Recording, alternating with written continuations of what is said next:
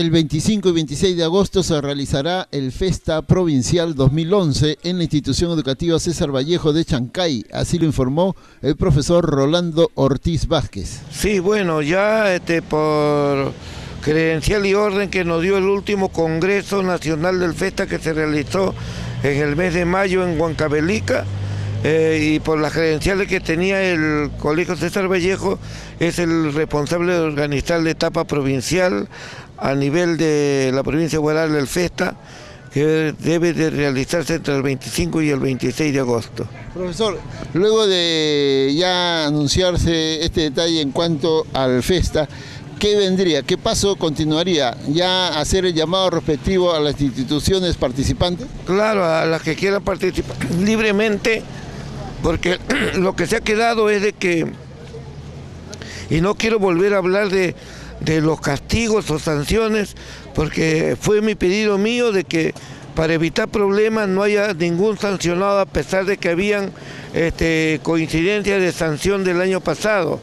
No hay ninguna sanción para nadie y todos los colegios están llanos a participar porque en realidad el problema no lo han cometido los alumnos, sino lo hemos cometido los mayores. Entonces no puede dejarse sin participar a ningún alumno, ¿no? Claro, en este caso, ¿cuáles son los colegios que regularmente están participando en este tipo de eventos, profesor?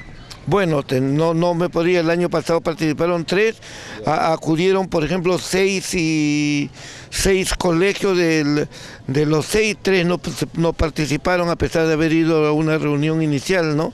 eso también era una llamada de atención, ¿no? Porque se hicieron inscribir, se hicieron poner en el programa y sin embargo no participaron, eso es sanción. Sin embargo no hay sanción para nadie y todos pueden participar libremente, ¿no?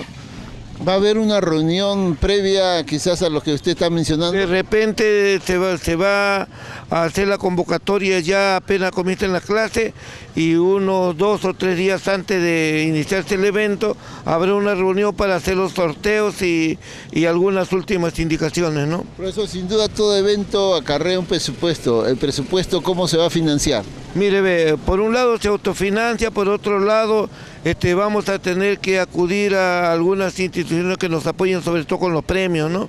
Y el gasto que va a acarrear, vamos a ver que se autofinancie generalmente, ¿no? Bien, profesor, el llamado entonces a las instituciones para que vayan pues ya analizando su participación y coordinar con ustedes para este mes de agosto que ya se va a realizar el FESTA. Sí, este, que algunos piensan de que puede haber dificultad, no va a haber, porque ya el coordinador de toda la región Lima, Lima Norte, que es el señor Juan Zuloaga, ya tiene conocimiento y él tiene la potestad y la garantía de supervisar este evento.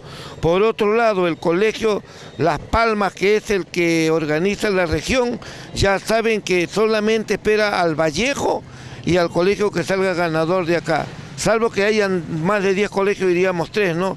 Pero todo ya está organizado y programado para que alguna institución que piense que con Vallejo el año pasado ha habido problemas, problema no ha habido, y ya todo está organizado de acuerdo a lo que nos han dado la potestad de la misma, del mismo Congreso Nacional, ¿no? Invitándoles también a todos los colegios que quieran participar, ¿no?